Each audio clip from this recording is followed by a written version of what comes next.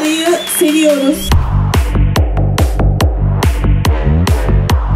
Gerçekten parlayan, gelişen, kalkınan, vatandaşlarının, yaşayanlarının yüzünün güldüğü bir Aksaray var. Yollar gibi ışıklandırmalar, kaldırımlar, bisiklet yolları, bisiklet durakları, engelli kardeşlerimize şarj noktalarıyla mutlu bir şehir gördük.